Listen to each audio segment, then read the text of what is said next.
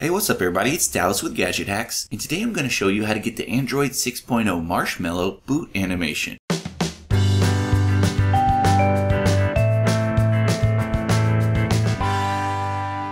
Now Google just unveiled the new code name for the next version of Android. There's now a giant statue holding a big marshmallow outside of Android's headquarters in Mountain View. And as soon as they made the name for Android 6.0 public, they released a new preview build of the upcoming version.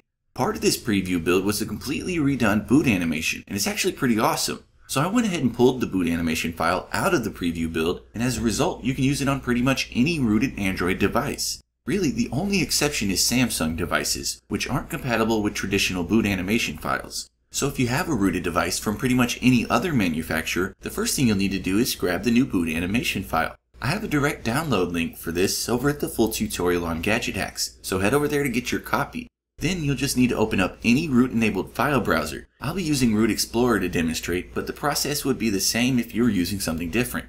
From here, just head to your device's download folder, then long press the new boot animation file, and choose Copy. Next, navigate to the root partition on your device, which is the highest folder you can get to in the folder tree. From here, open the System folder, then the Media folder inside of that. Next, be sure to mount this folder as read-write so that you can make changes to the files it contains. When you're done there, long press the existing bootanimation.zip file, then choose Rename. At this point, you just want to add a few characters to the end of the file name. I like to add a .bak for instance, but you could basically write in anything. When you're done though, press OK, then with the new boot animation still in your clipboard, go ahead and press paste or copy here.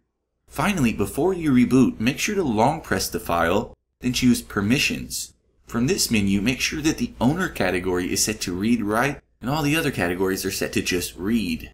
Then, after setting that up and pressing OK, you're ready to try out the new boot animation.